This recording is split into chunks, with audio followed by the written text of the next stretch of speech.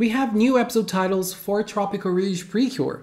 In episode 23, we're gonna have Mina Mina Festival, Tell Me What Is Laura's Wish, and in episode 24, Hot Blooded Battle, Tropical Club versus Student Council. And not only that, we have the episode summary for episode 21, which is called Summer Vacation, the Tropical Club's training camp plan.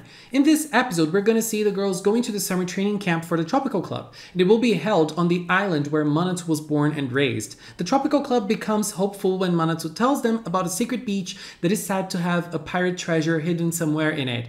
I'm very excited for this episode. We're probably going to see her father, and it's probably going to connect to the next episode, episode 22 which is called An Adventure of Secrets Find the Mermaid's Treasure. Maybe this treasure is connected to Laura's second solo attack. And I'm also very excited for episode 24. We might have a glimpse of what happened between Asuka and Yuriko, since we're gonna have a battle between the Tropical Club and the Student Council.